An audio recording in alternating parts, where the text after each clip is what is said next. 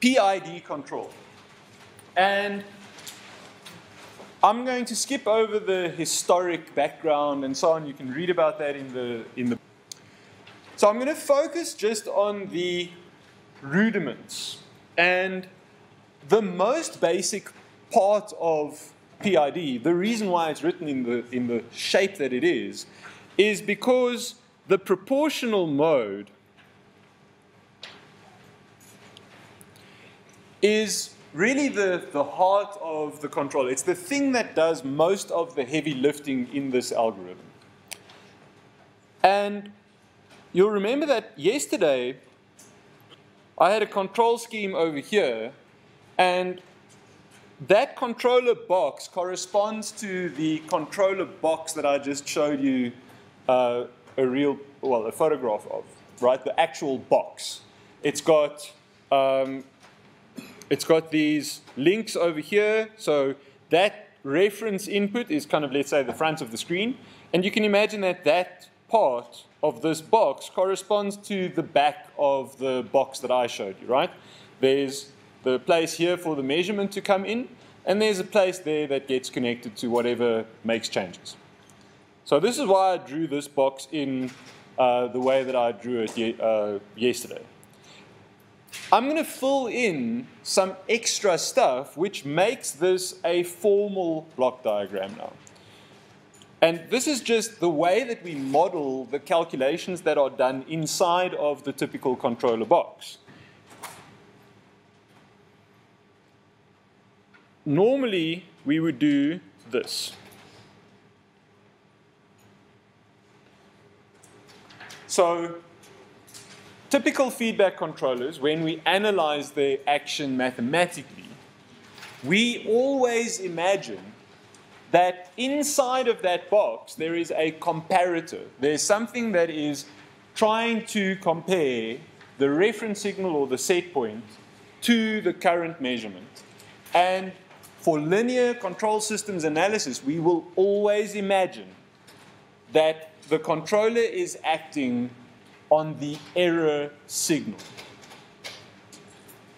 In other words, in terms of the math that we write down, we will never have a controller which has a block diagram where the measured signal enters into the controller. We will always only compare the error, or the, we will always only act on the error. So in terms of control analysis in this subject, you can always write down that the controller input will always be the error, and the controller output will always be the manipulated error. And so this is the first little step where we're moving beyond um, where we're moving beyond what we can um, just imagine that box, how that works on a high level. On a high level, the box, the function of the box seems quite obvious. You have to have the measurement going into the box. That's true. But from a mathematical level, we're going to have the error going into the transfer function. And you'll become very used to this standard control loop where we have the controller acting on the error, producing a manipulated variable, going into the plant, which reacts, produces something that we can measure, going back, being fed back and compared to the reference signal. That's going to be the standard form of the loop that we're going to be analyzing. So the first thing that we have to understand is that when we talk about proportional action, we will always think of this, always have this little calculation in mind, right? So we'll have an error which is always calculated in this way where the set point is taken as the reference and we subtract the measurement and the kind of controller that we are designing right now is this thing over here. And so proportional control is easily represented by a simple gain. So proportional control doesn't have any dynamics inside of the system itself. And you'll see that uh, in the textbook, we are shown this relationship where we have that error signal, which they actually have as an epsilon, and we have the error signal and at some point, so they call the output over there P. And this point here is P bar. And actually, we should actually label this. You'll see the textbook has this labeled as P, but when you think about it, it's actually what we used to call in dynamics uh, P hat, right? It, it's the un, uh, or let's say, yeah, it's actually P because P, normally we would have that as P bar or P uh, accent or P prime. So this is what the controller, this is how it works. Now remember, in our analysis, we will always be analyzing these linear systems in deviation variable form. And so, from a mathematics point of view, because you can imagine we actually have a transfer function if we were writing down ps is equal to k times epsilon s, right? That's what we would write down mathematically for that gain. If we were writing that down, uh, an epsilon of 0 would correspond to a p of 0. So how is it that we have this p bar? It's because the controller is taking action in the real world, right? And so while we do our calculations in deviation variables, we want to actually apply that in the real world, which means we have to add back that steady state value. Now, this is also known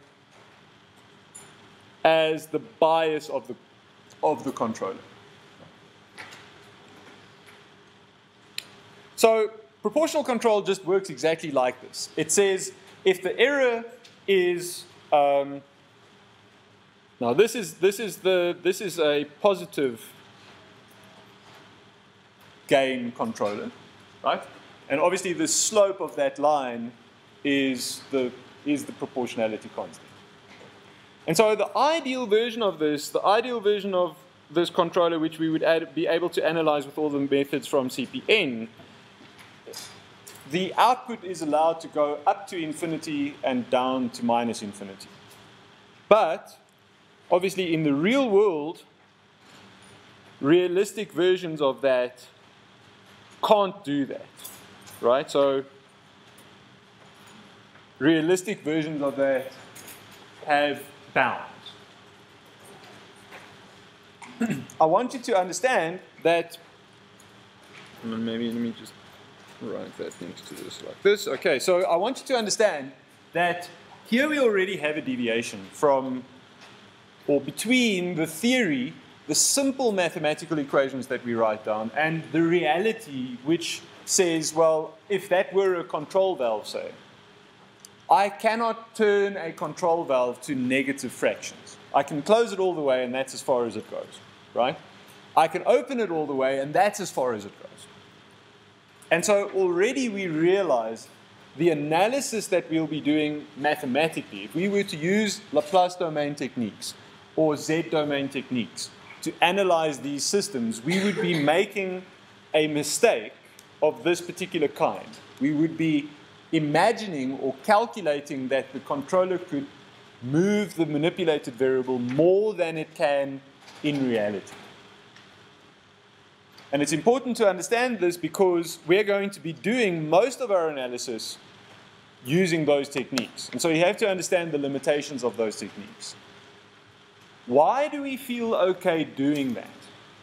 The only reason why we feel okay doing that is because all systems are approximately linear within a small range around the point of linearization. And so you can imagine that the analyses that we're going to be doing are going to be more reliable the smaller the deviations are from some kind of ideal steady state. So if we're working approximately at some steady state, far away, or at least as far away as we can from the bounds. If we're not reaching the bounds of the manipulated variable, the linear analysis will be more reliable. But also because the linear analysis is not 100% accurate, that basically is the reason why we have the project. Because during the project and in some of the other simulation types, we will be actually simulating the behavior of nonlinear systems. And so this kind of controller, which has limits, is actually a nonlinear controller. It's, and I mean, it's a bit confusing because it's not nonlinear because it uh, doesn't look like a straight line. Uh, it's nonlinear because of those limits, right? Um, because obviously the action of these controllers don't always uh, resemble straight lines. So I think it's useful to imagine uh, what these things look like when we actually run them in time. Um, uh, let's see. Right, uh, we've got a proportional only controller running on the TC Lab. Uh, I'm saying it's proportional only because uh, we have, uh, I've set the value of tau i to be quite high. And so we can see uh, a proportional move uh, and only a very small amount of integral action which, is which corresponds with this um, error integral that's being added on over here. Now we can see under these conditions uh, with a small gain, we are not actually uh, converging uh, towards the set point. So we can we can make that happen a little bit faster by uh, increasing the gain.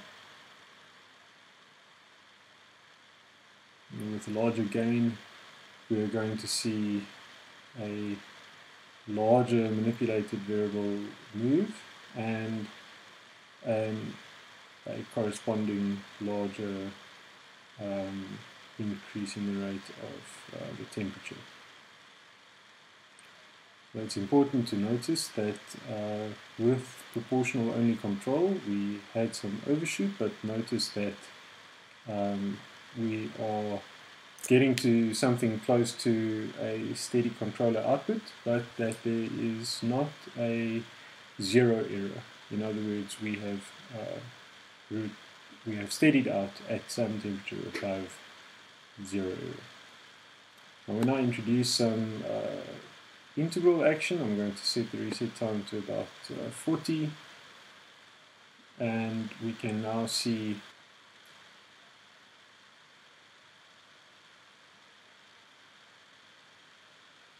Also notice that since we're not resetting the integral, we're seeing quite a large action all happening at once. Uh, this is only due to the way in which the um, error is uh, being tracked. Uh, because we are live tuning the controller parameters, we'll see a little bit of time before we actually see everything uh, steady out in the normal behavior.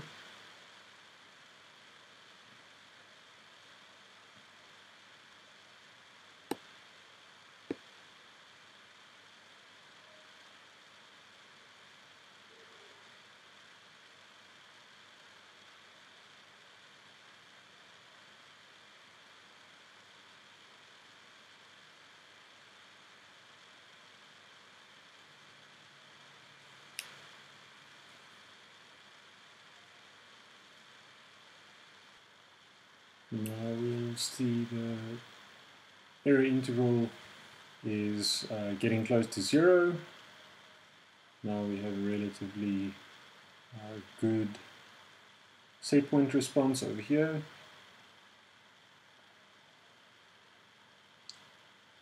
And as we zoom into that scale, we can start seeing that uh, this controller is converging on the actual set point. So compare this to the previous response with a much larger tau i, where we could see a similar shape, but uh, with a control offset. Demonstration. During the demonstration, I was going through how that proportional mode, if the gain is too small, so in other words, we, we noticed, so we've been uh, looking just at proportional control, and we noticed that if that is a small number. If I have a small gain, it's clear that at least from a conceptual point of view, a large error could lead to a small adjustment. And I think intuitively, most of you can understand that if there's a large error and I'm making a small adjustment, I'm probably not going to fix the problem. I need to make an error, I need to make an adjustment that is uh, the correct size for the error that I have. So the smaller the gain, and you can kind of take this all the way down to zero, if the gain is zero, the sensitivity of the controller to the error is zero. And so therefore I can have as large an error as I want, and the controller, remember, deviation variables, output of zero for the controller means do the same thing as you would do it. So, I mean, that's obviously wrong. There's a large error, and the controller is still outputting exactly the same output as before. That can't be right. So the, the controller should be acting to counteract the error that it is seeing. Now, just before I introduce the integral mode, I also just while I've got this uh, nomenclature going, I want to uh, talk about how we talk about the action of controllers. Uh, this is a widely misunderstood, this is the commonly misunderstood thing. Um, why is this? There you go. This is a commonly misunderstood uh, idea. You will see that in the textbook they distinguish between direct acting controllers and reverse acting controllers. And then we also have positive gain controllers and negative gain controllers. I find it's easier to remember the direct and reverse acting terminology when you refer to the direction in which the measurement is moving. And so, if you think about our little temperature control loop, if we have our TC lab over here, right? The manipulated variable that we have in our TC lab, right, is such that it causes an increase in the temperature when it is large. So increasing Q will tend to increase T. And so we know what that means. That means that this has a positive gain. That's the case for TC lab. Now you can understand that temperature control a temperature controlled system doesn't have to work this way. It could be that there is a fan, and when I turn on the fan, the temperature goes down. In a system like this, where we have something like an air conditioning system, and most of the time we're trying to get the temperature to go down, again, turning on or increasing the action of the air conditioner is going to decrease the temperature. And so both of these versions of controlled systems exist. There are things where when you open the valve, the thing you're trying to control goes up, and there are things that when you open the valve, the thing that you're trying to control goes down. Just positive and negative gain, no problem so far. Now we're going to hook that up. Now we're going to hook this up to a control system. And I'm going to draw this control system just like I did before, uh, kind of drawing a box around the controller, and I'm not going to draw the, the subtraction, the error calculation, and so on. I'm just going to say, if I have a controller box like this, from the point of view of that box, imagine things are okay. In other words, we're at a point, we're at some steady state, we are outputting not a zero Q, but a Q which is causing that steady state. So let's say uh, during tutorial one, you remember that we had that task, just get it to 40 and just get it to stay there, right? That's a non-zero Q, but it's a steady state. In deviation variables, all the signals are zero. And at a particular moment in time, something happens. Something happens in such a way so that the temperature goes up. What is the controller supposed to do in that case? We can reason through that without much math. We can say, right, if the temperature, if, we if everything is fine now, and the temperature becomes positive in deviation variables, in other words, it has gone up from where it was, the correct action from the controller would be to reduce Q. Right?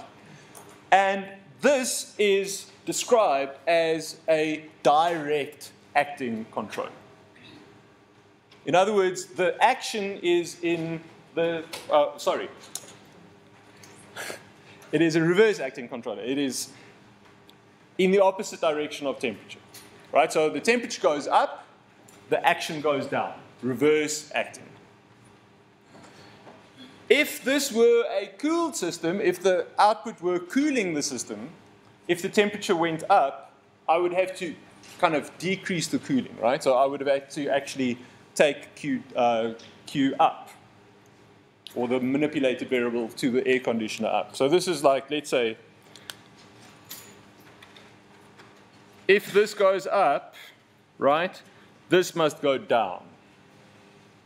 So that's how the TC lab works. This is a reverse acting controller. Why? Because these signs are different. In terms of what the desired behavior is. If the temperature that I'm measuring is too high, I must reduce my output. So this is, let's say, reverse action. If this was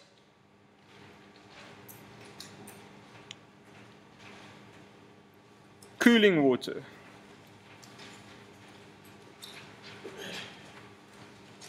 right? If that was cooling water going to some jacketed reactor, in that case, we have a negative gain.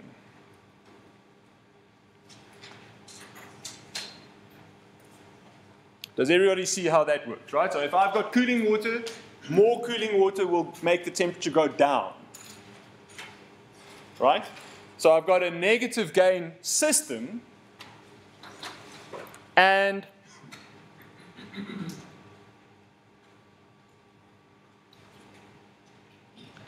now the desired result, if the temperature goes up, I want the cooling water to go up and therefore I want a direct action controller.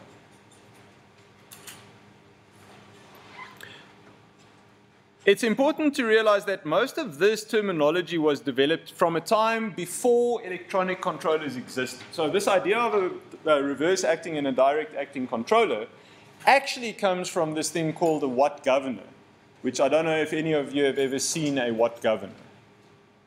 Uh, you, you, have seen one. You probably just didn't know that you were looking at one. Um, a Watt governor is a thing that was developed to control steam systems.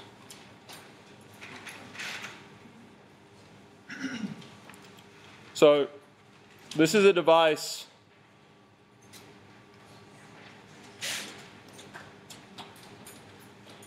that looks something like this. You've seen these, I think, if you've ever, if you've ever seen videos of steam engines. This, there's a shaft over here that turns, and there are uh, balls attached to, so this is a vertical thing with these balls connected to, uh, to uh, linkages. And as that uh, shaft goes faster, these balls experience a centripetal force. So you can imagine that if the shaft doesn't rotate very fast, the balls hang down. And as you spin it faster, the balls have a tendency to swing upwards, right? And so actually this is, a, this is, this is the mechanism.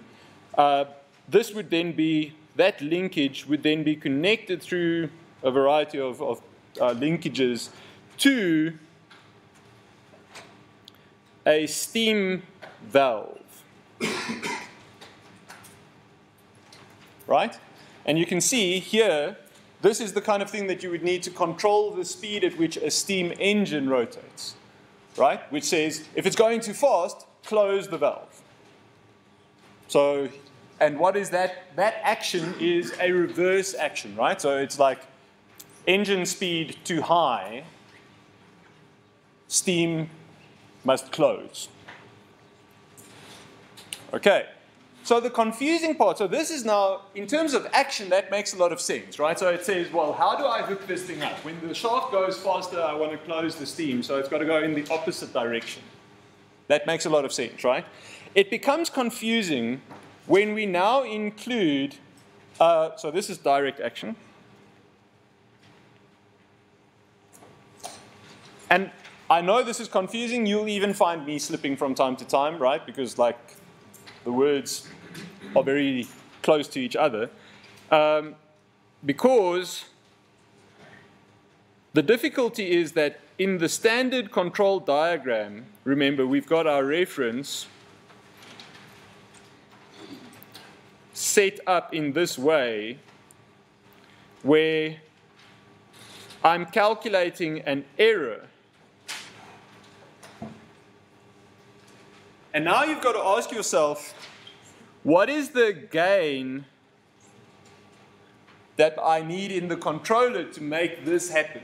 And this is where the confusing thing comes in, because if my temperature is too high, remember this is what I was saying, in both cases, where we started out fine, we started out at steady state, at set point, my temperature was then suddenly too high. And the problem is that when the temperature is too high, the error is negative. Right? Because remember, if YSP is staying the same, it's zero in deviation variables. And so I was okay. At some point, something weird happened, and now the temperature is too high. This is what these signs mean, just to be clear, right?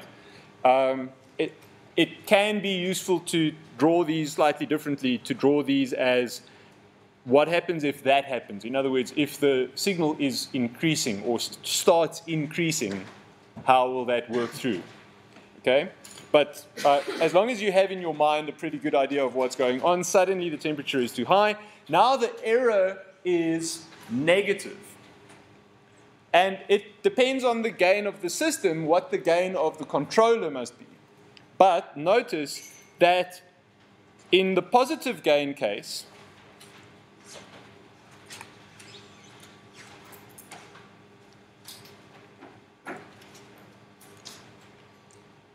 Okay, I'm, I'm getting there. I got a question on Slack about like how the gain works. Uh, I just want to go through to the gain of the controller and then we'll talk about the gain of the system. So in the case of a positive gain, system, if the temperature is high, we want to change the uh, manipulated variable to go down, right, or to get smaller, which means that uh, in the reverse acting case, confusingly, the controller gain is positive right? How do I know the controller gain is positive? Because I need to get from a negative to a negative. Remember, so the temperature is too high, which means the error is negative. I need to make it negative. I need to make the output negative. So what do I need? I just need a positive gain.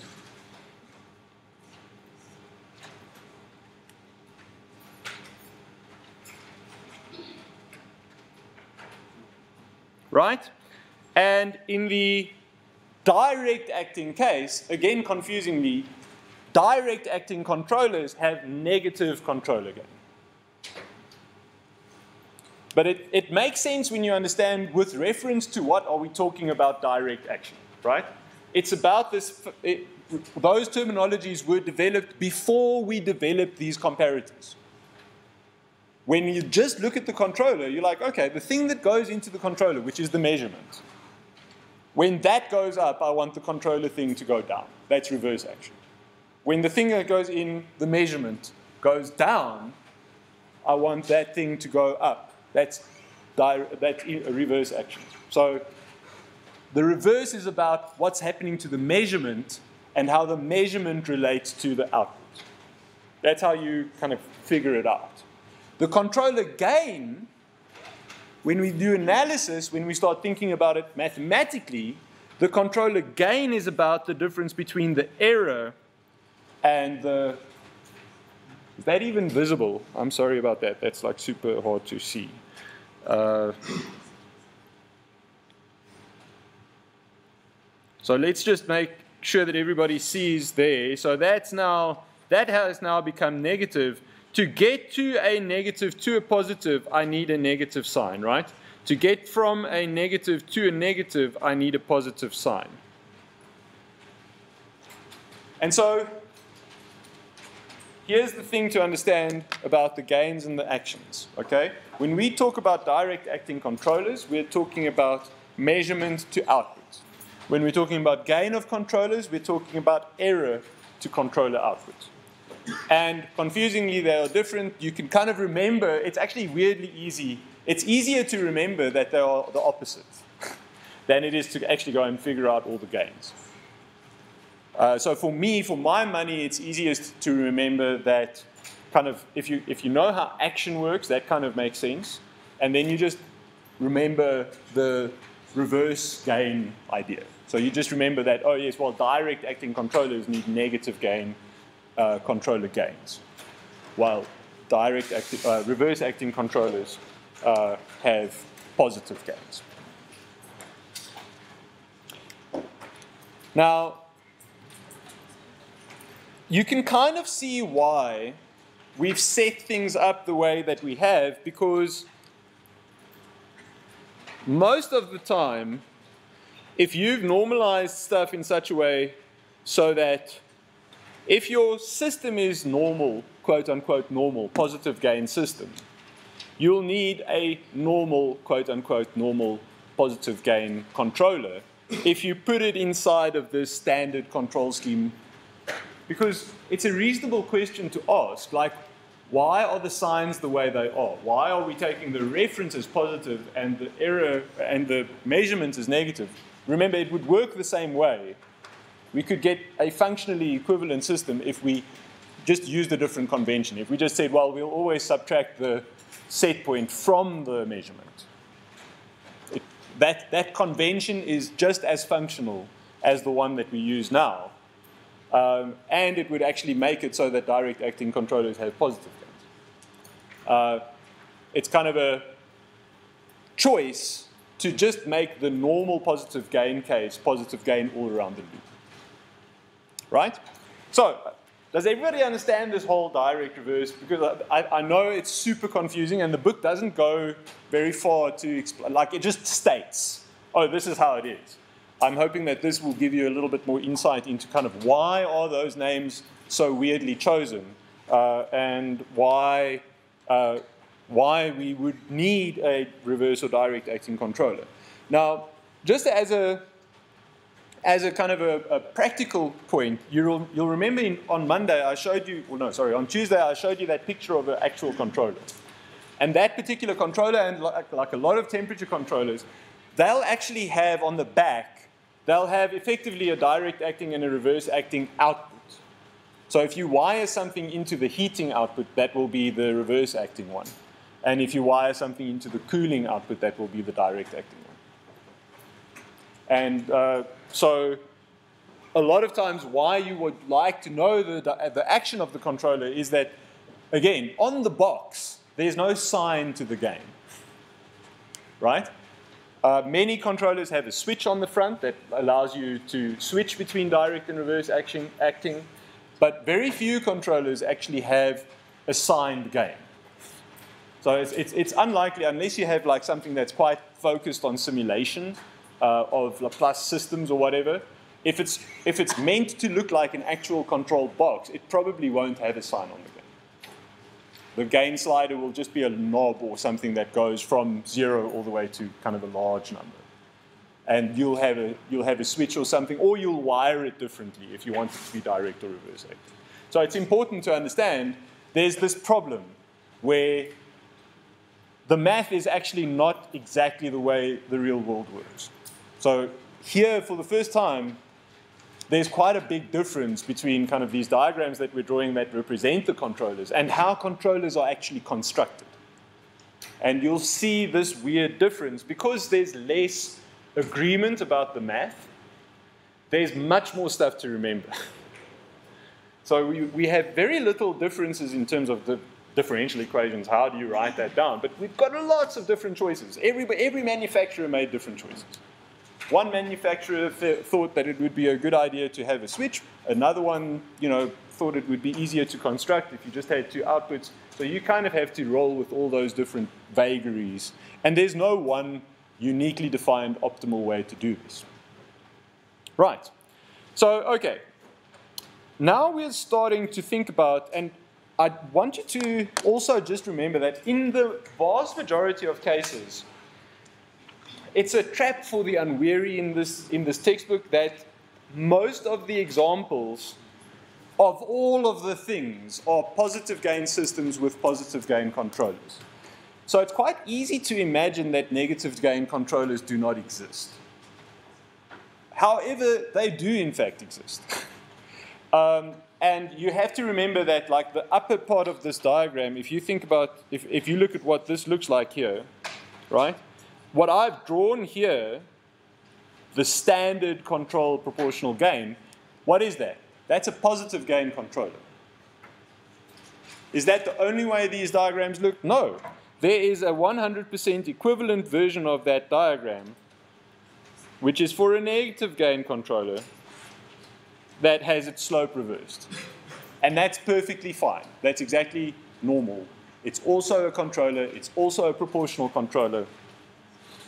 It just happens to have a negative gain. These diagrams confuse people in a second way, which is I'm now going to switch over to, um, to this notebook. And this time I'm actually going to try and have sound. Right. Okay, so it's confusing to a lot of people that there are um, these two different kinds of diagrams. There's this diagram, which shows the error output relationship at steady state for a controller. And then there's this other class of diagrams which have the controller output over time in the open loop mode. So this is the controller output of a PI control. So that's P over time. Hmm.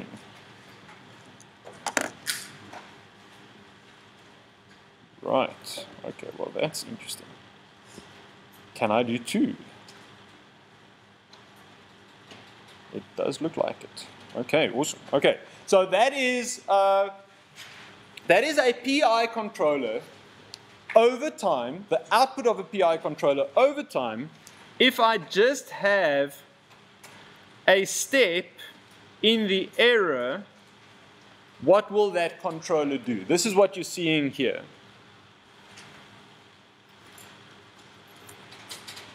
it is important to realize that you are not looking at this controller actually controlling a system. Right? This is the controller not connected to a system, it is the step response of a PI controller.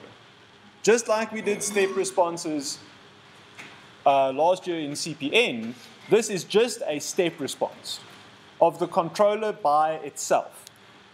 The reason for this is that the, we build these controllers, we're going to say, okay, let's think conceptually this is what a gain controller, this is what it would look like. Let's add a couple of things. Let's add integral action. That's what it would look like. This is what the step response of the controller would look like.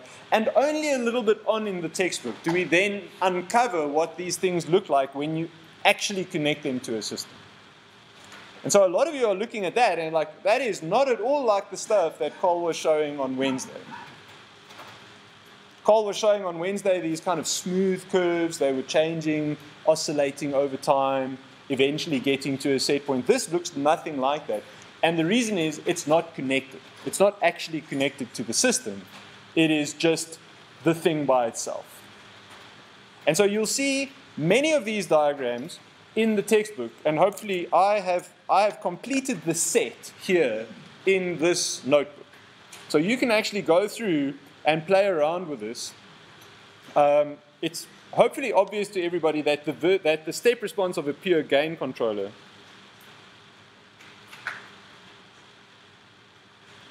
let me, let me move this up. Oh wait, how will I do this?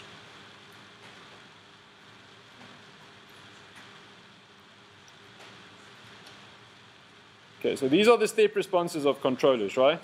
Just straight controllers. A proportional controller is just a gain. So its step response is not very exciting, right?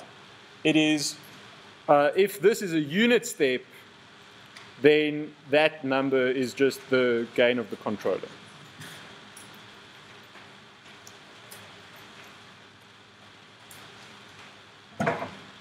A PI controller contains this integrating action, right?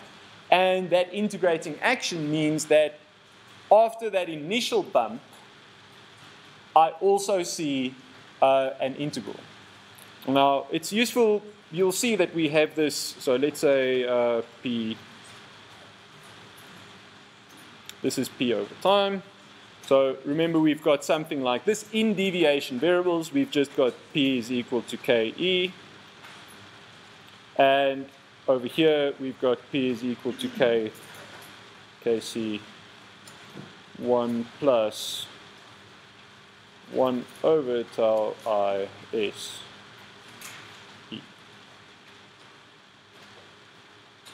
So these are the transfer functions of those of those systems. So we've got a proportional uh, we've got a proportional controller and we've got an integral or a proportional integral controller. And hopefully everybody can look at that and say yes, that that kind of if I add those two step responses together, the step response of, of an integral system, if you can remember this from, from last year, the step response of an integrator is just a ramp, right? So if I have a step response of, if I have a step coming into an integrator, I'll get a ramp coming out of it. And then finally, if we, if we want to say uh, PID,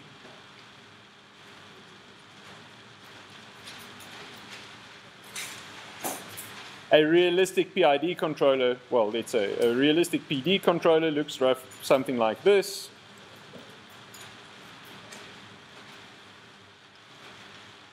Now, we don't actually have the ability to build derivative controllers as we discussed on Wednesday because of physical realizability, right? Because we actually can't calculate the derivative exactly. Remember the step response of a derivative unit by itself. So if I put this thing into this thing, the output is this thing. Okay? Does that ring a bell, right? So the derivative of the step is like this perfect Dirac delta. Got to kind of be with me with the C, uh, CPM. Not going to recap that again, okay? So remember that taking the derivative of the step moves you up the table. And so steps derivative is this infinite step. And that's kind of a good way of understanding why we can't build one right? Because we can't build a device that will output an infinitely large output for an infinitely small amount of time. Those infinite, infinite is usually a clue, infinite is close to impossible, right? Like in engineering terms. If you say, oh no, that's fine, we just need an infinite like capacity for this, like that actually means it's not fine. It actually means you can't do it. So what do we do? We get close, right? So you can see that this this big peak over here is kind of an approximation of an infinitely high peak. So it's big, and the bigger it is, the closer we get to infinity. And the shorter that little response time is, the closer we get to infinity. Okay, so, and we can show that this is how the math works out. Uh, again, just a reminder that this is all on, uh, on the repository, so you can kind of do this on your own time. I'm using the control library here because um, the Laplace transform of those derivative units is not very well behaved when you have those very small time constants. So uh, it's a lot easier to get a reliable, nice output out of the control library. Um, and so you can see what I'm doing. This equation should look familiar. That is exactly the same equation that I just drew uh, for the PI controller, and you can see that we can get that step response reliably out of the control library. Same thing goes uh, for, well, let's say PD first, right? So there's PD, that's the one that I drew just a minute ago. And obviously, P and I and D are just the proportional and the integral and the derivative actions all added together. So, importantly, we talk about these step responses, and that's the graphs that, like, actually, most of the graphs showing uh, controller outputs um, are like that in the in the book. So if you look at like something like Figure 7.6, for instance, it's showing there this confusing graph, or this graph that appears to confuse many students, because they're looking at that and like, well, I'm not really understanding how that relates to the, the stuff that I've seen controllers do. And it's key to understand that these graphs are what is known as open loop graphs. So it's called open loop because we don't have any of the feedback bits, right? So you'll remember we talk about this part as the forward part, right? And here we're talking about the open loop response. I would describe these graphs as firstly the step response of the controller, that's perfectly fine. I would also describe it as the open loop response of that controller to error. Open loop, why? Because we don't have any feedback connected. There's no result from that controller. It's not connected to a system, it's not measuring, it's not calculating a new error. It, the loop has not been closed. And so you'll see this come up a lot in the discussion in the textbook. You'll see people talking about open loop responses, in which case they always mean, pretty much always mean, that the controller isn't actually running. It's not actually doing the thing that we think of a controller doing. It's not doing the measurement. It's not calculating new outputs. It's not actually doing that whole feedback loop thing. Somewhere along the line, somebody has disconnected something. Either disconnected the temperature or disconnected the output or something like that. You can think about any time you close that or open that loop by breaking a line. And you can do that all the way through, right? So you could every time uh, if you disconnected that line, or that line, or that line, in all three of those cases, the controller wouldn't function the way that you expect, where it's actually kind of responding to new measurements, right? Because it's just working in this open loop mode. So, what does it look like when we do closed loop? Now, just before I move on to the closed loop responses, any questions about this? Does this clear up some of the stuff that you saw in the textbook? When you were reading through these different responses. Please note, and I'm going to say this again, I am not going to, like, if you do not read the textbook, you will fail this subject. What I mean by that is if you are in every single class, but you do not read the textbook, you will not know the things I expect you to know in class or in the tests. This is just a fact. So I'm assuming you're reading through the textbook you're having very little difficulty. Everything is super clear, right? I'm relying on you to ask questions, to clarify things. If many people ask questions, I will clarify them in class. That's how this works, right? So you cannot, please remember, you cannot just be in class in this module. You have to read the reading.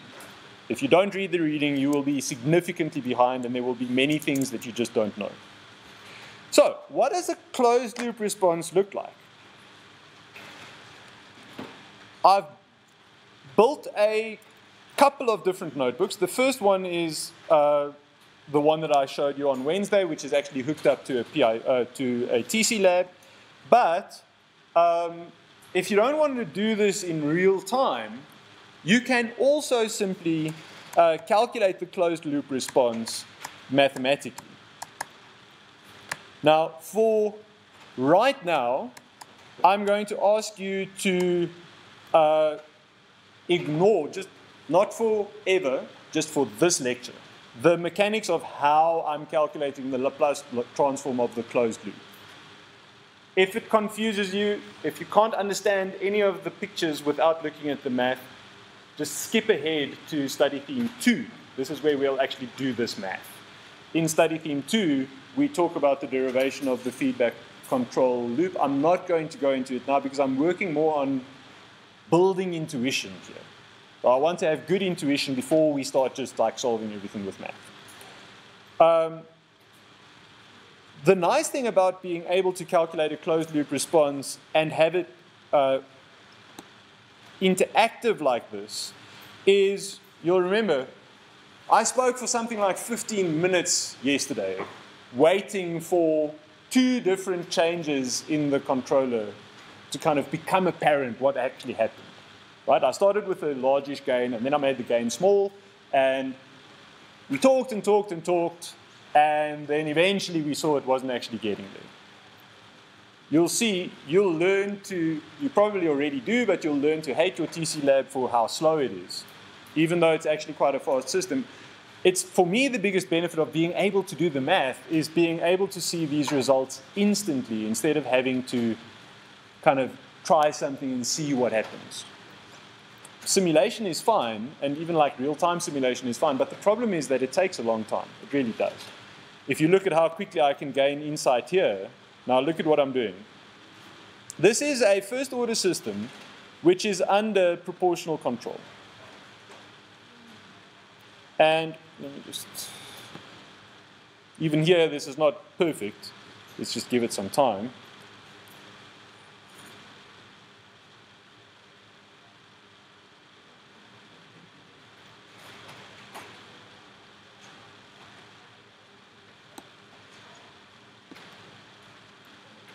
And what we see is when the gain is small,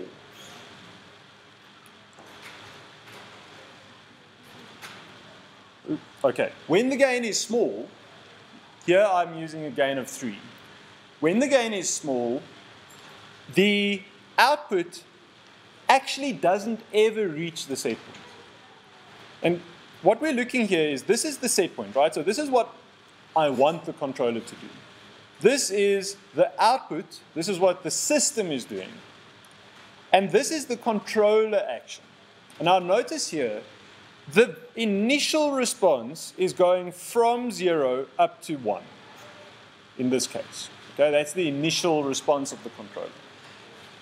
Then, as this system responds, think about what's happening.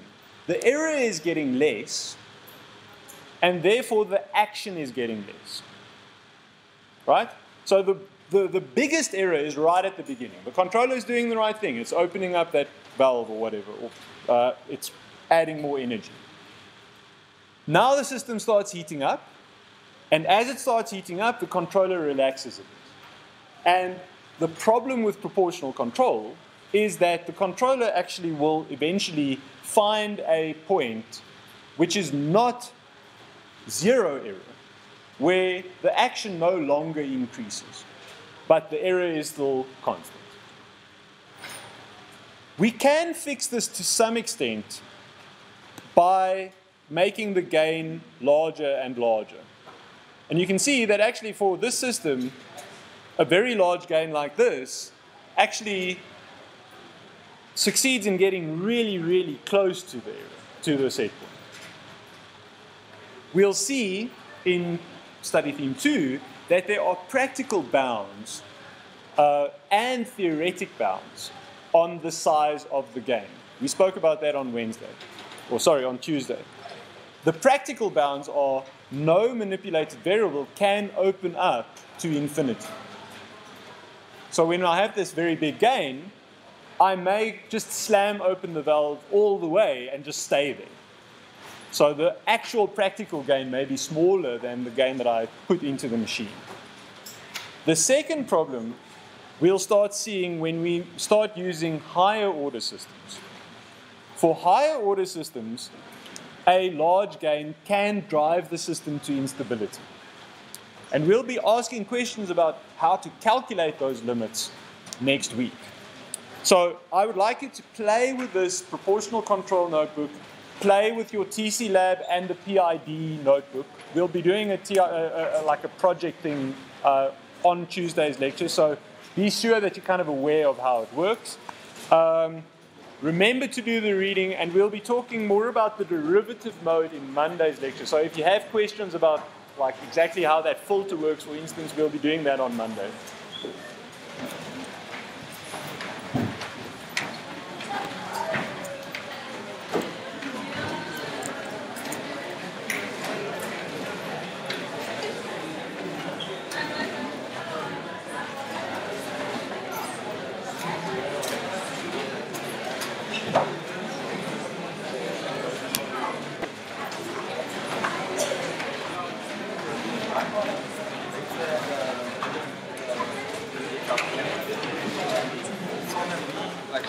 doing uh, master time, so fine from chef, came back.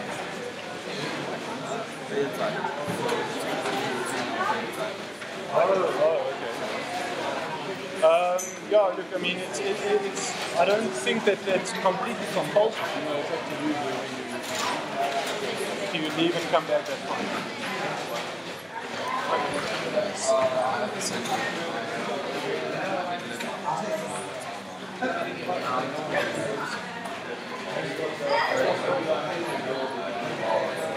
Whose actual CSC are you going to be doing? Uh, get at the beginning or at the end or? I'm going to start with Git. Okay. So it's going to be Git at the beginning and then like data stuff towards the end. Um, it's not clear to me exactly how long that's going to be. Like probably at least two hours. Um, but yeah, you know, it's, it's like it's not short. It's more of kind of um, it's an attempt for me to kind of trim down on the amount of times I have to do that same thing. Like